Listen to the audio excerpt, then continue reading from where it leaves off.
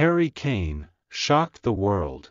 If you are new here, subscribe to the channel, hit the bell icon to receive the next news from Spurs. Amazing, Kane makes history. Tottenham beat Wolves this Saturday by 1-0, in London, in a game valid for the third round of the Premier League.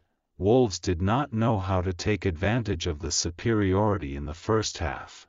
They closed the initial phase with 12 shots against only one of Tottenham. But only two of the visiting team hit the goal, coach Antonio. Conte fixed the team at half-time. And Tottenham came back better in the second half. In the 18th minute, forward Heung-min Son hit the post and Harry Kane opened the scoring on the next move. After the corner kick, midfielder Perisic deflected the ball with a header, and Kane complemented it with a shot inside the small area.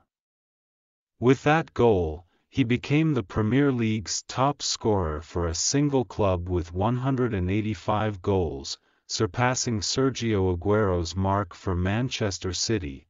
Kane says it's always good to score goals, but victory here is more important.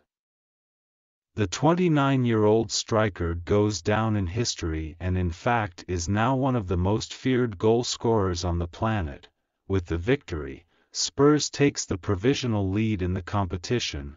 Comment there, in your opinion is Kane one of the greatest scorers in the world? Don't forget to leave a like and subscribe until the next Spurs news.